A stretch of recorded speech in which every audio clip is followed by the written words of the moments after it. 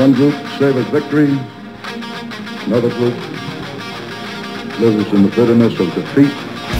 The many hurts seem a small price to pay for having won, and there's no reason at all which the adequate for having lost. We're not going out defending anything. We're going out to fight for it, compete for it. Nobody gives you anything in this world. One thing nobody in this world can give you, men, is respect. This is a game of respect.